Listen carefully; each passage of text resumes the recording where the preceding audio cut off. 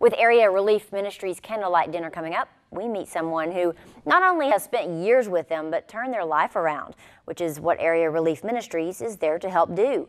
39 News' Camila Reda has more. Terrence Mary spent his day working for Fresh Start, cutting grass at the cemetery and other businesses around Jackson.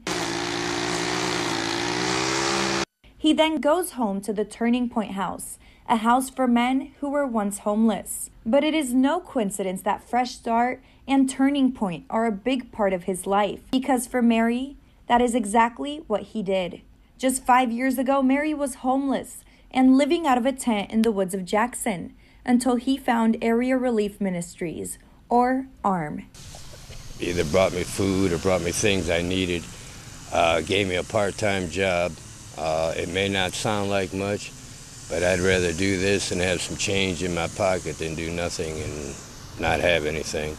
Now, Mary is self sufficient, pays rent, and even goes back to ARM to help others who are in the same position he was once in. Mary is just one of the many people that Area Relief Ministries helps every single day.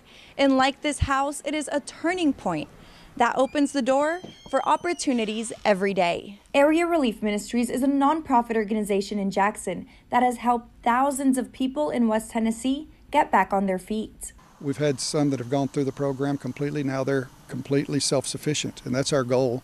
Mary's story is an example of how ARM can help turn someone's life around.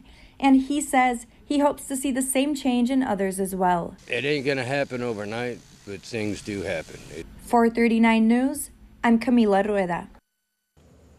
Area Relief Ministries' 43rd annual Salt and Light Banquet featuring Shenandoah will be on September the 12th.